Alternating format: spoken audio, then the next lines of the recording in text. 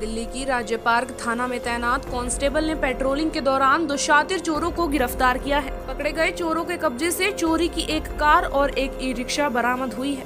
अपनी जरूरतों को पूरा करने के लिए आरोपी चोरी करते थे। जिसके बाद राज्य पार्क थाना पुलिस मामले की तफ्तीश में जुटी है।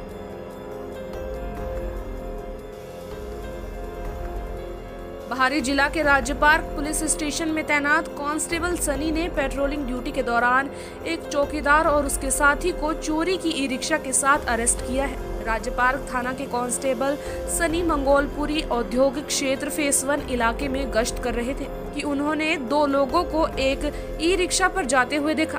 कांस्टेबल सनी को उनके ऊपर शक हुआ और जब उसने आरोपियों से ई रिक्शा के कागज़ मांगे तो वे कोई दस्तावेज़ नहीं दिखा सके और ना ही कोई उत्तर दे पाए। जिसके बाद पुलिस ने आरोपी को चोरी की कार और ई रिक्शा के साथ अरेस्ट किया। पकड़े गए आरोपी से पूछताछ की गई तो उन्होंने पुलिस को अपने द्वारा चोरी की हुई मारुति भी बरामद करवाई, जो कि सुल्तानपुरी इलाके से चोरी बताई जा रही है।